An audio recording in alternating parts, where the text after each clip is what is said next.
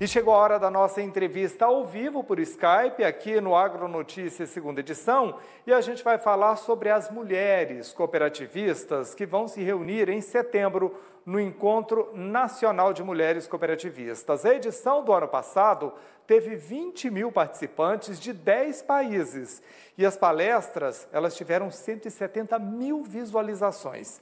Quem vai antecipar os temas e os nomes de palestrantes deste ano para a gente é a Luciana Martins. Ela é diretora da M Prado Cooperativas, do grupo Conecta também. Lúcia, seja muito bem-vinda, muito bom ter você aqui para a gente falar sobre esse assunto, viu?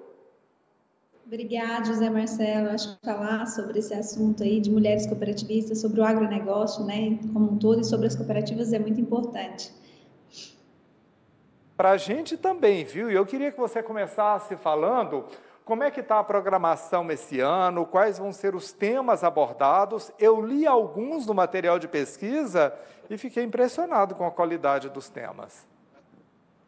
Sim, esse ano nós vamos trazer temáticas muito importantes para essas mulheres. Nós vamos falar um pouco sobre sucessão familiar, né? Descomplicando um pouco a sucessão. Qual que é o papel da mulher nesse processo de ajudar os filhos a, a, a entender sobre o negócio, a suceder as suas famílias. Nós vamos falar também sobre conectividade, o processo de tecnologia, como essa entrada da mulher no campo ela é tão importante, como ela vem acontecendo em todo o Brasil. Então, as temáticas elas foram escolhidas por essas mulheres que participaram com a gente no último ano e elas escolheram o que querem escutar. Vamos ter cases de superação. Oscar Schmidt vem falando sobre a sua paixão, né? E o quanto é importante a gente colocar paixão em tudo aquilo que a gente faz. A Dani Amaral vem falando sobre o seu processo de superação, que ela consegue fazer tudo com os pés, pela ausência dos membros superiores. Então, o evento esse ano foi assim pensado com muito carinho. Nós teremos aí Teca Vendramini falando aí sobre a sociedade rural brasileira, os desafios, as perspectivas, os cenários econômicos. Então, nós teremos aí grandes palestrantes nesse evento e esse ano a gente espera um público ainda maior do que o ano passado. Só de Santa Catarina está vindo aí uma comitiva de mais de duas mil mulheres. Então, nós temos aí grandes expectativas, viu, José Marcelo? E por falar em inspiração, só sem cometer injustiça, mas citando o nome da Teca Vendramini, a primeira mulher a presidir a sociedade rural brasileira no exercício do mandato nesse momento, não é? Acredito eu, como homem sem muita legitimidade para falar sobre esse assunto, que isso deve ser também um motivo de inspiração para outras mulheres do agronegócio, né? E aí, atiçando a curiosidade né, de quem está nos assistindo, o que é que as pessoas precisam fazer para terem acesso a todo esse conteúdo, para participar desse evento? Isso, vocês podem se inscrever aí direto pelo site do Grupo Conecta, né? E também nós estamos com uma parceria muito forte com todas as cooperativas do país. Então, se você, ah, quero saber como que está funcionando, procure a cooperativa da qual você é cooperada, procure o Grupo Conecta. Quando você fala, José Marcelo, sobre mulheres, né, nós estamos vivendo um, um momento muito importante, um marco para as mulheres. Não só a TECA assumindo aí a sociedade rural brasileira, mas também nós temos aí a nossa ministra da Agricultura que representa tão bem e tantas outras mulheres. Esse ano nós vamos trazer cases de mulheres que estão dentro das revendas, de mulheres que estão dentro das cooperativas, de mulheres que assumiram o seu papel dentro da propriedade agrícola. Então elas vêm contar um pouco de superação, que eu acho que não é só falar sobre superação é, num ambiente mais é, não tão próximo dessas mulheres, mas falar da sua superação a cada dia. Eu venho trazendo uma palestra que é como construir o seu legado, né? Deixando um legado para as próximas gerações. Então, nós estamos pensando com muito carinho nesse evento para despertar isso. E despertar num segmento, Zé Marcelo, de cooperativa, que se a gente imaginar, nós temos 1.223 cooperativas agropecuárias. Mas dessas 1.223 cooperativas, quantas cooperadas nós possuímos? Se a gente olhar, essas gigantes cresceram 34% no último ano, bateram aí um faturamento muito significativo nós tivemos 21 cooperativas, José Marcelo, fazendo um faturamento de mais de 100 bilhões. Então, você imagina o quanto de concentração tem isso. Nós estamos aí com essas 20 cooperativas, inclusive, confirmadas, com mulheres representando o cooperativismo. Então, é um, uma temática muito importante.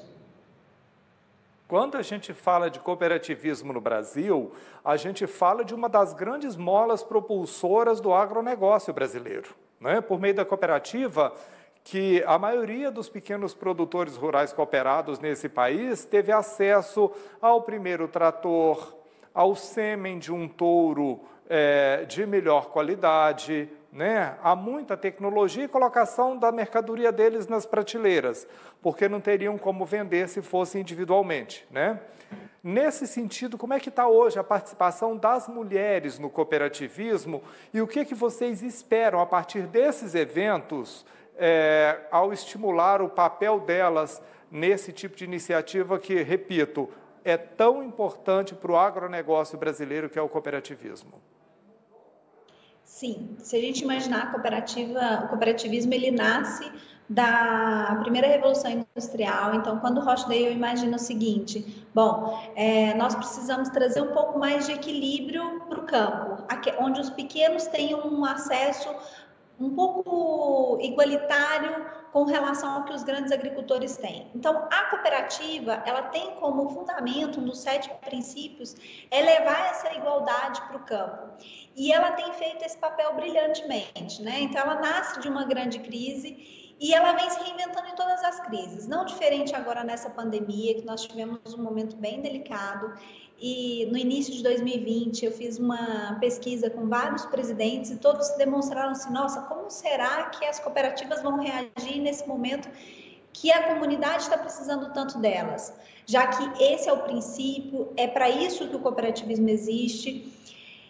E, ao contrário, foi o maior crescimento da história do cooperativismo, das cooperativas agropecuárias, foi no momento de crise. Então, ela, ela faz o seu papel muito bem quando a sociedade precisa dela. Quando você diz, Zé Marcelo, olha, é, é, ela viabiliza máquinas, ela viabiliza tecnologia, ela traz informação. É exatamente isso, Zé Marcelo. Ela traz tudo isso e na pandemia ela trouxe mais.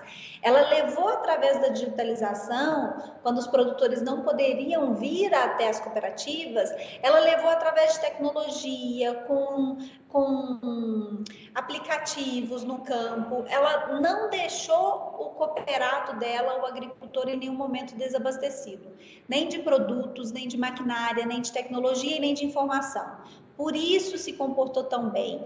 Nós tivemos aí um crescimento de 34%, que esse ano, Zé Marcelo, a expectativa é que as cooperativas cresçam muito mais. Por quê? Elas verticalizaram bastante, elas trouxeram aí novos negócios para dentro da cooperativa, elas estão em um momento onde trazem pacotes tecnológicos para os cooperados.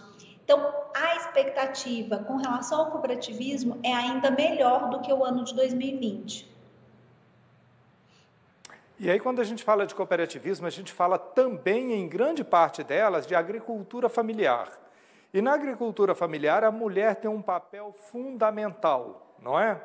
Você acredita que com esse crescimento projetado, o papel da mulher cooperativista, ele também tende a ser reforçado?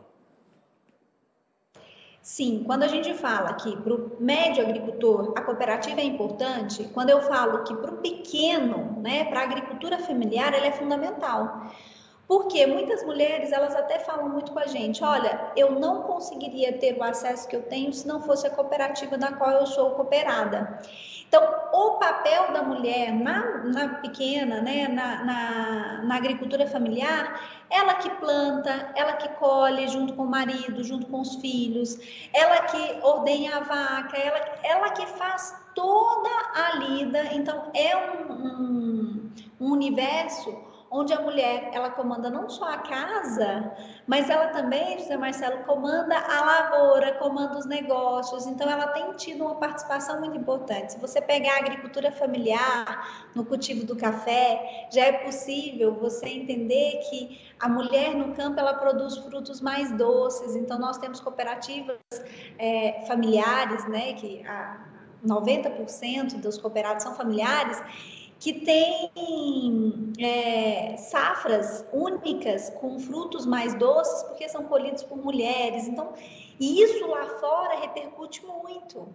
A, a, o mercado tem aceitado isso muito bem e elas têm se dedicado, têm feito com delicadeza, têm trago a feminilidade para dentro do campo, têm feito do seu jeito. Então, eu brinco que uma mulher cuidando da sua família, Zé Marcela, é uma família muito bem cuidada, mas uma mulher cuidando da sua propriedade, a propriedade não só fica linda por fora, mas também com uma gestão extremamente humanista, mas também extremamente profissional. Elas estão buscando essa profissionalização, elas querem trazer tecnologia, mesmo nas agriculturas familiares, elas querem maquinárias mais específicas.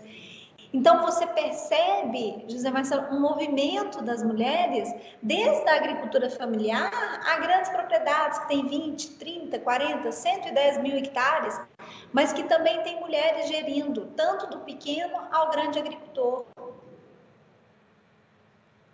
Não tenho dúvida disso, viu? E para finalizar e para reforçar, eu queria que você desse de novo a data desse evento, como é que as pessoas podem fazer para participar e se as palestras vão ficar gravadas para as pessoas poderem assistirem depois.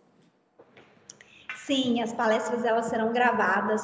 O ano passado, José Marcelo, nós tivemos aí, dentro do Mulheres Cooperativistas, é, muitas mulheres assistindo durante todo o tempo. Então, o que que isso aconteceu, né? O que que, por que que isso foi tão bom para nós? A mulher ela estava no campo, mas ela também estava no momento que ela estava trabalhando, ela estava assistindo, ela nos mandava vídeo, elas nos mandavam fotos assistindo o evento e nos solicitaram muito, Luciana, deixa o, o, o evento durante um, 30 dias para que a gente possa assistir com mais calma, com mais tranquilidade.